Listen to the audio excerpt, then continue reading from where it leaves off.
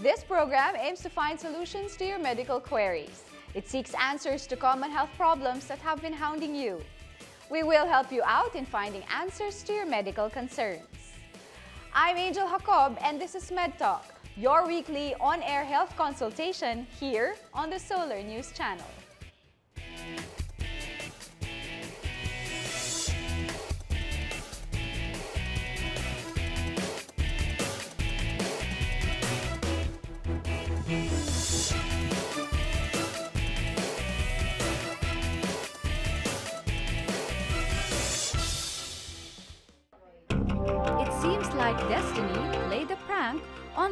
31-year-old Apple Roma.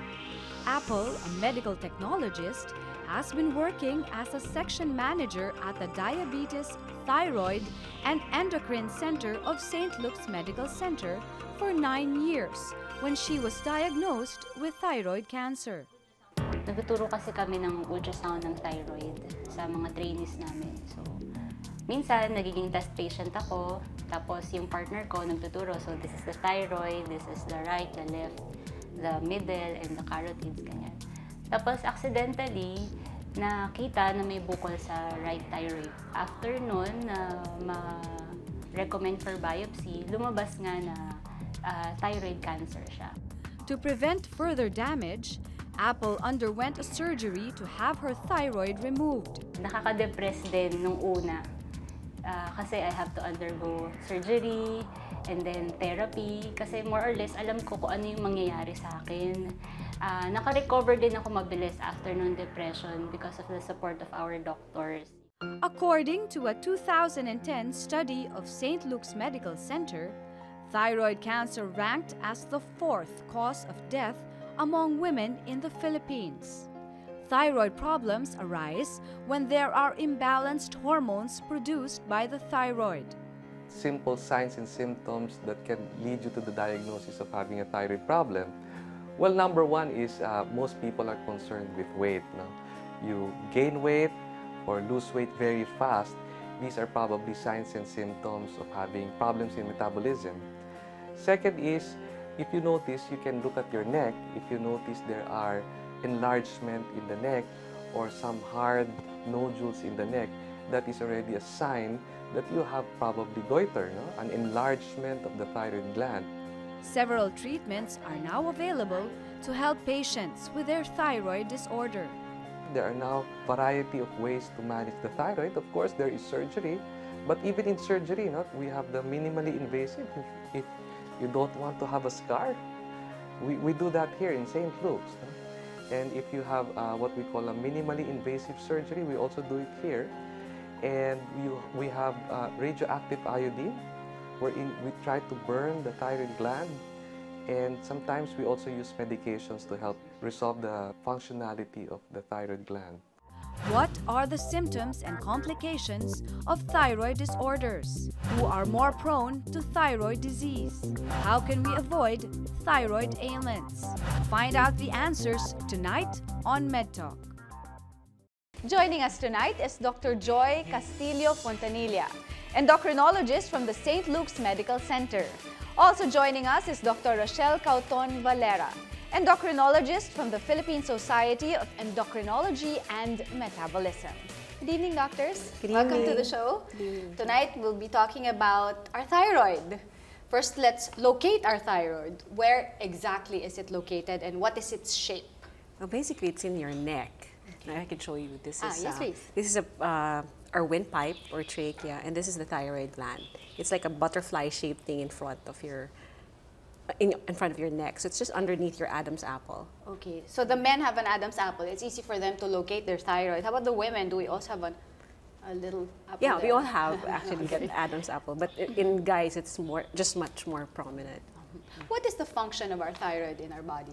Well, your thyroid gland actually produces thyroid hormones, which serve to regulate metabolism or how efficiently um, your body uses energy or how efficiently it runs. It also regulates the function of all your organs.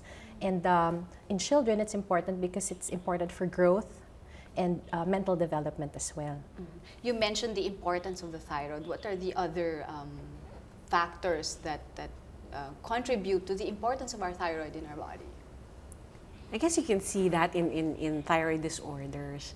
Now, we usually see a lot of patients that say, hey, I'm gaining weight, I must have a problem with my thyroid. Why do they identify it right away with the thyroid? Well, maybe because I think even lay people already know that the thyroid has something to do with the metabolism.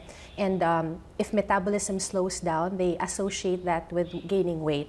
And you know, Filipinos, you'd rather attribute it to something else rather than Yes. I ate too much or I don't exercise. But Yes. a lot of people um, may have a thyroid disorder, which may lead to weight changes. So we have to be aware of that as well. So weight changes, weight gain, and weight loss. Um, usually that would be their primary concern, but there are other uh, symptoms which are common as well.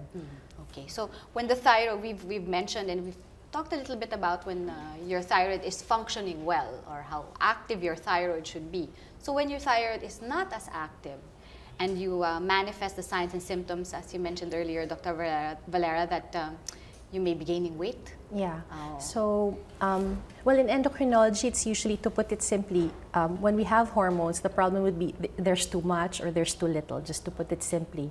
So, if you have thyroid hormones, you can have too much. So, we call that hyperthyroidism, like hyper, super, overactive thyroid. You have too much of the thyroid hormones. Or if you have too little of the thyroid hormones, your gland is not producing enough, then it's called hypothyroidism. Okay. So let's talk about hyperthyroidism when you're uh, producing too much of it. What happens to uh, an individual when you produce too much of this hormone? If you have too much thyroid hormone in your body, it can affect, I think, from head to toe. So your heartbeat can be very, very fast. So people can complain of palpitations. You can also complain of feeling warm or hot all the time. So even if in an air-conditioned room, you may be sweating while everybody else is comfortable. And also, you can have problems with your um, bowel movements. People have to go to the bathroom quite often. After they eat, they have to go. Okay. Uh, you were about to add something, Well, since um, if you think of thyroid hormones simplistically, uh, you can think of it like the electricity going through an appliance. So you can imagine a 110 voltage appliance that you plugged into a 220 appliance. Like if it's an electric fan, it will suddenly start moving very, very fast and eventually um, some explode, right? So you can imagine all your organs moving too fast. So some people they talk too fast.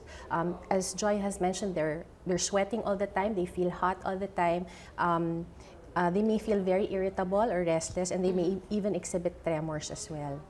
And the physical manifestation of someone who has a hyperactive thyroid is that they're very thin and that their eyes tend to bulge. Why is that? Well, it's um, the usually, usually the cause for that is an autoimmune problem we call Graves' disease. It was named after Dr. Graves. Okay. Yeah. And um, basically, the your own body is attacking itself. So it's attacking your thyroid and making you produce too much thyroid hormone. And it can also attack the muscles around your eyes so that they swell up and you bulge out. Would you have an example of uh, someone who has a hyper? Hyper. Well, this would be one. The- Hyper. The, thyroid gland compared to the normal one. Yes. It's much bigger. Okay. Yeah, it can be much bigger and it can grow even bigger. Mm-hmm. Yeah. And these um, people tend to have very, very high thyroid hormone levels. And they're like, yeah, like a car on the racetrack, just, just moving around and around and, and, and they expend so much energy. Yes. So usually they complain that they eat so much, but they're losing weight. So that's another thing. And also their skin may be thinner. Um, sometimes they'll complain that their their hair is falling off faster. So is there a certain age when one notices it um, or it spans through all ages, all It can happen groups? at any age, but it's commonly seen in women in the reproductive age group. 20s? Yeah. 20. Sometimes, you know, we might identify someone who has a hyperactive thyroid as just someone who's very energetic, who just has a lot of energy to expend. Uh, Sometimes it's like that. Sometimes. How about in kids? We speak of energy. Kids have so much energy. So, how do you identify one who has a problem with their thyroid, in this case, a hyperactive thyroid, and one who's just being a kid, being very energetic and being very playful? A simple blood test can solve the problem. You can, you can tell if someone has a thyroid problem, both underactive or hyperactive, through a simple blood test. Okay, you mentioned, doctor, a hypoactive thyroid, uh, one's thyroid is not as active as um, one diagnosed to be hyperactive. So let's talk about the hypoactive thyroid. What does this mean and what are the physical manifestations of one who has this? Well, basically the opposite of what Dr. Valera explained earlier. Someone who has an underactive thyroid tends to gain weight mm-hmm. or tends to complain of feeling cold all the time. I feel cold all the time. Yeah. They're constipated, they're mm-hmm. sluggish. Some will feel very depressed and lethargic. Okay. And why is this? What happens to um, one's thyroid when um, they feel all these uh, symptoms? Well, um, since, uh, as we said earlier, your thyroid hormones really serve to regulate function of all your organs as well as metabolism. If you have too little, uh, well, you're like a 220 appliance that was plugged into a 110. It's functioning, but it's very slow. So as Joy has mentioned, everything slows down. And since you are not using your energy properly as well, then you tend to gain weight as well. Then you're constipated and uh, you feel lethargic or sleepy all the time. And uh, yun nga, pwede ring depressed. Oo. So you again have to take a blood test kasi sometimes if you're sleepy all the time, other Yes. people will just say, "Hindi, I'm just tired. You know, I had a long day and I'm really just sleepy."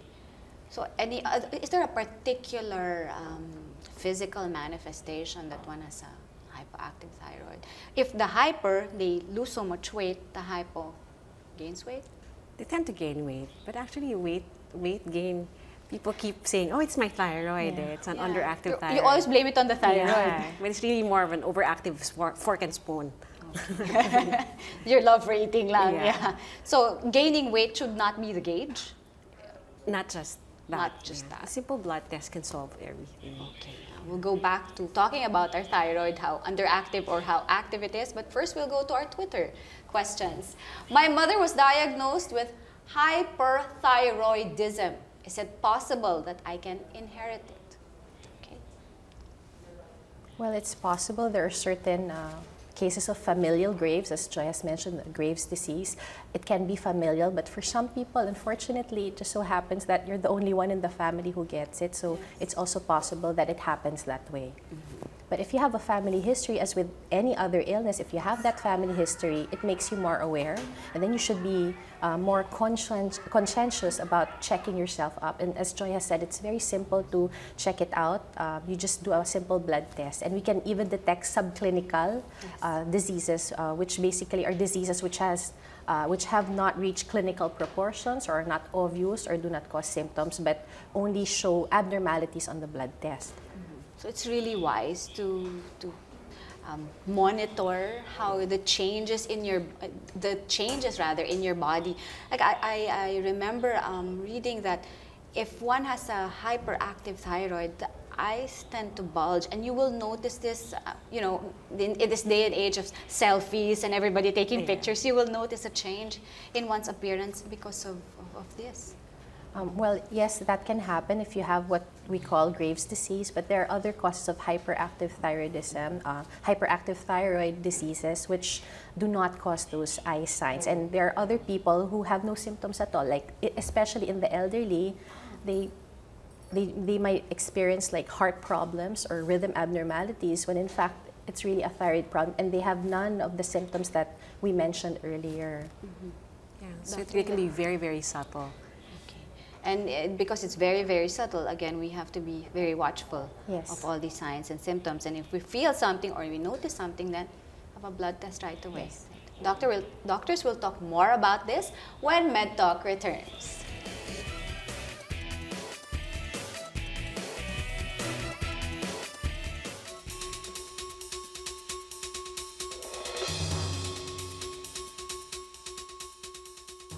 Did you know that Pierre Joseph Desault was considered to be the father of thyroid surgery?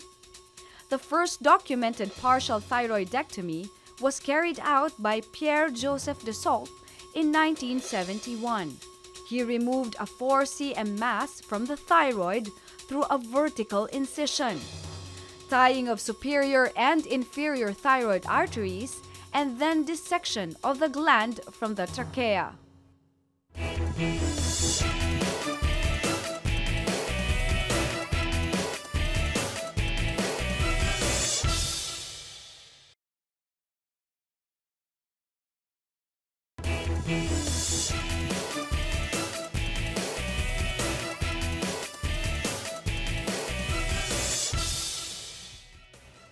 are back here on Med Talk, still talking about thyroid conditions. Doctors, how about goiter? Uh, is it a manifestation of someone who's a hyperactive thyroid or a hypoactive thyroid? Basically, goiter is just a fancy word for enlarged thyroid.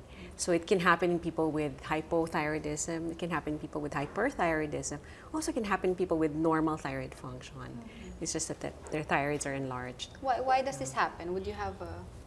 Well, it can look like It this. can look like that like this. also. Okay. Yeah. So why does that happen? Why, why does goiter happen? Um, the most common uh, worldwide cause of, of goiters is uh, iodine deficiency. Yeah. So about 40% of the world's population is at risk for iodine deficiency. In the Philippines, um, since we've been using iodized salt in a lot of lot, lot of the regions in our country, it's the uh, prevalence has gone way down. But in the mountain provinces, you know, where, where they have no access to much, not much access to seafood, then um, iodine deficiency is much higher. So iodine should always be part of our meals. It should be part of our diet, yeah, because that- your body can't make iodine Okay, so we have to take it and we have to get it from, from seafood. food. Yeah, you, can also find it in eggs and dairy products. Mm, okay. Why does our body need iodine? Because iodine makes up thyroid hormone. Okay. So thyroid hormone is made up of iodine and, and other proteins. Okay. Doctors will talk more about that. We'll talk more about the treatments and medication. But first, we have a question from Facebook. I'm four months pregnant now and I have goiter. Will this affect my baby? Well, basically, as Joy has said, um, the thing is when lay people use the word goiter, it can refer, as Joy has said, the way we use it, meaning that it's an enlargement of the thyroid. But for other people, when they use the word goiter, it really means there's a problem with my thyroid. Either I'm hyperthyroid or hypothyroid. Since the uh, person who sent the question didn't really say if it was a goiter or really a hyper or hypo, the answer would really depend on what the condition is. If she has a goiter, meaning an enlargement of the thyroid, but the thyroid function is normal, then this should not affect her baby. But if she is hyperthyroid, meaning her gland is overactive, of course this can affect uh, development, uh, she can have a difficult time. And if you, she is hypothyroid, the same is true as well. Meaning that if you're pregnant and if you have hypo and hyper or hyper, you have to ensure that you see your doctor carefully so that medications are given at the right dose. Can she pass on um, this condition to her baby? Um, yes, it's possible. Is it possible? But again, uh, she has to have herself checked. And to balance these hormones, she has to see a But it may not manifest Doctor. right away in the baby, you know, when they're born. But I'm glad that we have, you know, we've we've um, included newborn screening, the thyroid function. We've included TSH in the newborn screening, so that babies are now screened for thyroid problems. So if the mom, again, we'll go back to the mom, the Facebook question. The mom has um, is, has is complaining about about her her thyroid. Um, it will not affect the baby. Well, it, if it is a non-toxic goiter, meaning that it's just an enlargement of the thyroid, but your thyroid function is normal, then it should not cause any problems, except if the goiter is so large that she cannot breathe anymore or is causing obstruction. But if she has hyper or hypothyroidism, then definitely she should see her doctor. Her blood tests have to be done, and medications which are appropriate will be prescribed and titrated accordingly. Because as the pregnancy progresses, Yes. the dosage also has to be adjusted. And we have to bear in mind that some of the meds can affect, of course, cross the placenta, affect the fetus. So we really have to adjust those. We talk about medications, so let's now go into the medications that one needs for a hyperactive thyroid. Yeah, for hyperactive thyroid, we have um, three ways of treating it. One is to give oral medications, um, and that's usually usually given for a year, a year and a half. And then um, another option is for radioactive iodine, which um, can actually uh, destroy your thyroid. Okay. In people with hyperactive thyroids, um, that is one of the recommendations. And another option is surgery, and that's usually reserved for patients with very large thyroid glands, um, wherein the other two may not work as well. Uh, bef- uh, I, while you were uh, mentioning that, how about the tests that are done? What type of blood test is done to determine if you have a hypo or hyperactive thyroid? thyroid? Uh, we call these thyroid function tests. So you just get a, you know, a, a needle prick, and then your blood is extracted, and we order for a free T4 or, or a free T3, along with a TSH or a thyroid stimulating hormone, which are readily available in almost all the uh, hospitals and all the laboratories uh, nationwide. Mhm. Even without, uh, but you have to get the prescription from the doctor. You have to get um, the go signal from your doctor to have Well, these I tests. think Okay. certain hospitals or laboratories do allow it. Other hospitals need uh, a request from the physician. Okay. So we go back, we were talking about the hyperactive thyroid and the treatments and medications about the hypoactive thyroid to balance those hormones. What are the proper so medications? if you have hypothyroidism and you have too little of the hormones, we just replace the hormone. So we give levothyroxine, which is basically the name for thyroid hormone. So we just give it to them. It's a simple tablet. It's very cheap, and you just have to drink it once a day. What does it do? How does it affect the thyroid, these medications? Well, basically, um, uh, the levothyroxine for the hypothyroidism, since uh, you do not produce the thyroid hormone, you're just supplementing or giving what is lacking. So it will perform exactly what thyroid hormone does, which is to regulate your metabolism in the proper way. and and these regulate the, the your metabolism so your um, being diagnosed of a hyper or a hypo becomes normal already Yeah, once you're at the right dose. And you need to be monitored periodically. So you have to yeah. balance the- yeah, the the blood tests have to be monitored. okay so and then you recover from this it never comes back or is it with you forever It depends on the cause of your hyper or hypothyroidism. okay so it can be cured It can be It cured. does not need to recur Well, if it's Graves' disease, it's forever.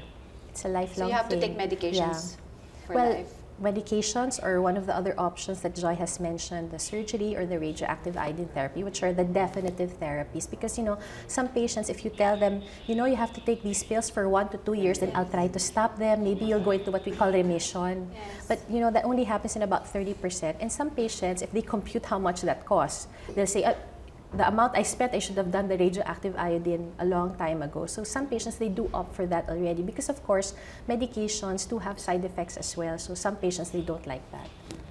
And um, so, for us to uh, keep our thyroids healthy, what should we do? What should we eat? What kind of lifestyle should we have, Dr. Joy? Well, basically, just uh, living a healthy lifestyle, eat a balanced diet. Um, make sure you have iodine, you know, you're well supplemented iodine. Because too much or too little is not good for the thyroid also.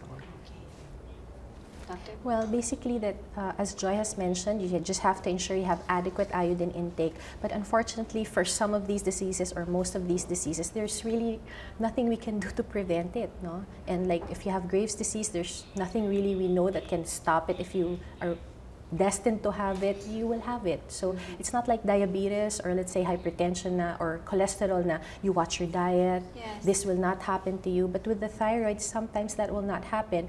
The only thing we can prevent would be if it is iodine deficiency. And if we have a re- uh, iodine in our diet, which is sufficient, then you don't get these problems of having too much or too little of the iodine. But a lot of the thyroid disorders that we have, there's no means to prevent it really, So- unfortunately.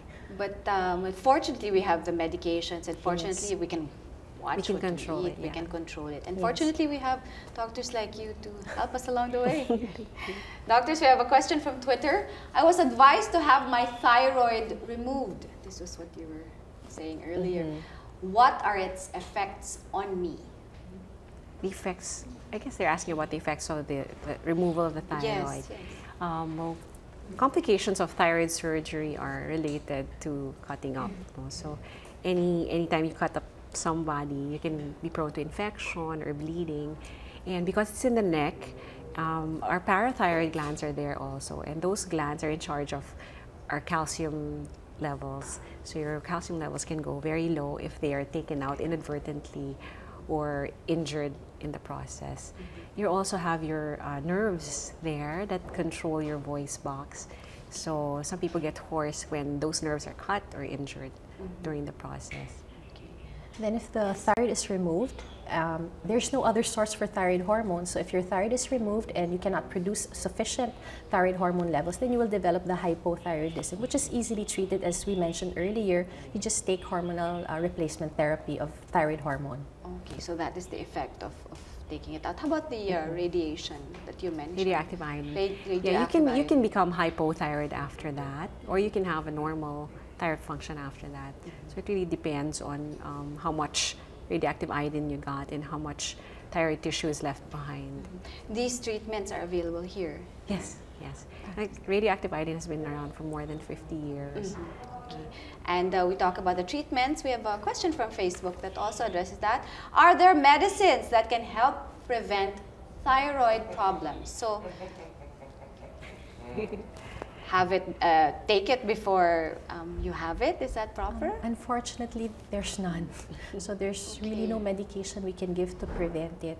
So some people kasi they think "Ah, I'll just you know take in a lot of iodine. Unfortunately, as Joy has mentioned, if you take in too much, it can also prompt a thyroid problem. So basically, no, there's nothing we can take to prevent. Unfortunately, And there are a lot of people that keep taking these kelp yeah, that's right. supplements. Okay, self-medication again. Yeah. And Not really a good idea because you might take too much iodine in the Just process. so they protect their thyroid, they'll self-medicate or like the question, they want to take in something already so that it doesn't become overactive or underactive. Unfortunately, there's nothing we can give for prevention for a thyroid problem, really. So um, there's nothing we can give for that. There's nothing for prevention. How about in kids who have um, a hyperactive or an underactive thyroid? Medications also, or would you also recommend um, radiation? How does this go? There's a certain age that we don't give uh, radioactive iodine to, no. So generally, below 16, we don't want to give them radioactive iodine. Okay, so it's just um, taking Taking the medication. medications. How about medical breakthroughs when it comes to um, uh, solving or, or addressing thyroid problems? Are there new um, developments? There. no, it's been relatively stable, and um, I mean, I guess the medications we have they do work.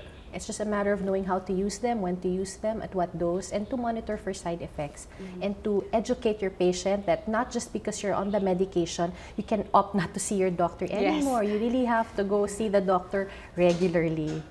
Because sometimes there are, there are side effects to the medication. Um, there are breakouts that, that, that might happen, or there are um, functions in your body, or you feel different from, you know, sometimes you opt not to take them because um, maybe you feel more tired, or maybe your skin becomes worse. Yeah. So, but, but you just have to continue because it's normalizing or regulating the hormones And the doctor body. has to actually titrate the dose, which is perfect for you because each patient will really be different. So we just have to tell them to be patient, to come back, and uh, we'll be titrating those dosages for them. So, any advice, doctors, that you would like to share with all our viewers on how to take better care of our thyroids? You know, we, we don't really notice it being there or we don't really understand its function until it uh, signals that there's something wrong. So, how do we take good care of our thyroid? Well, basically, just live a healthy life. But I would like everyone uh, in the audience to to take a look at their necks. You know, look in the mirror. Take a look. Self-test. Yes, look in the mirror and try to try to um, palpate your, your your neck and thyroid and see if there are any lumps there. Okay. And definitely, if you have any lumps, please go to your doctor right away and have yourself checked out. Oh, you mentioned lumps. Uh, we can't. Uh, um, we cannot not talk about the topic of um, thyroid cancer. Yes. Let's talk a little bit about that. So, um, how does this develop and the treatments and cure for thyroid cancer? Well, for thyroid cancer, usually it will manifest as a mass or a, a lump in your thyroid, and usually it's faster growing than the other kinds of lumps, which are benign.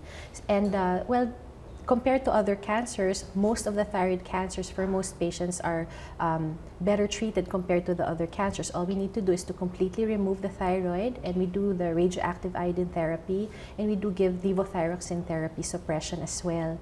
And they just have to well, sometimes, you know, patients, they don't want to see the doctor because, you know, sometimes I don't want to know that I have cancer. But you see, um, I will use the word curable Yes, because for thyroid cancer we can do that if we catch it early so that's i think that's another message if you have a lump in your thyroid don't be afraid to go to the doctor because we can easily well potentially cure that if we catch it early enough so you have to go see the doctor right away Okay. Doctor? Yeah. So, well, we'd like to thank both of you for helping us understand more about our thyroid, helping us take good care of our thyroid. And, you know, we should, yeah, we should do a self-test, self-check. It's, it's easy when you look at yourself in the mirror every day, Yeah. do that test. Thank you very much, doctors. Again, I'd like to thank Dr. Joy Castillo Fontanilla and Dr. Rochelle Cauton Valera for joining us in our discussion. See you again next Tuesday on Med Talk, 10 p.m. on your scheduled on-air consultation on the Solar News Channel. This is Angel Jacob. Good night.